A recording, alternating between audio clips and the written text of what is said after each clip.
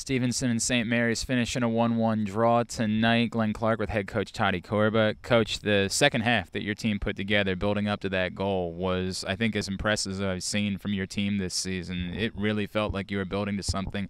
What kind of click there to start that second half?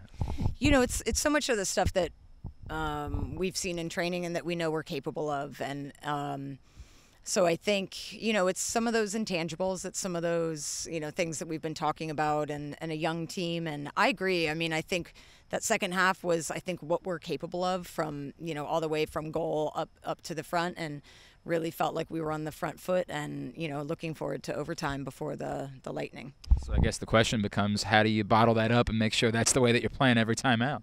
Well, that's what we just talked about in the locker room, why uh, I'm late for this. But, um, yeah, I, you know, I think now we we don't settle for anything less, and you know, while um, we haven't found our first win, you know, 0-2 and three.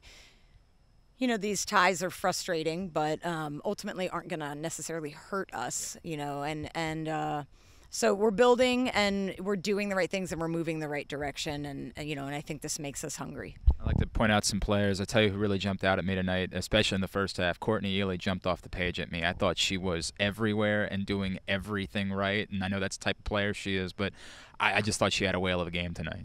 I, I, agree. I thought all of our backs were great, and you know, Court did so well, just you know, stepping in at the right times and anticipating things, and and really jump starting our attack. And um, you know, we ask a lot of her, and she doesn't typically come out, and she, you know, she does a lot of running, and uh, she had an outstanding game, and um, you know, we were just talking about it in the locker room too. I thought our freshman Erica Kitzinger did yeah. as well. Yeah. So, um, you know, a great overall game from from a lot of people, and um, you know, a little bit feel like we had this one kind of, uh, you know, pulled away from us uh, last minute. So I understand. For those that don't know, they were, they were, called after 90 minutes, unfortunately, due to weather, and there was certainly the momentum was on your guys' side with a chance to win it. But that just keeps going, right? Saturday, you get another chance to go out and get the first win of the season. Coach, I know it's frustrating, but appreciate you coming over and spending a couple minutes with us. Sure thing. Thank you. She's Tati Korba. I'm Glenn Clark. GoMustangSports.com.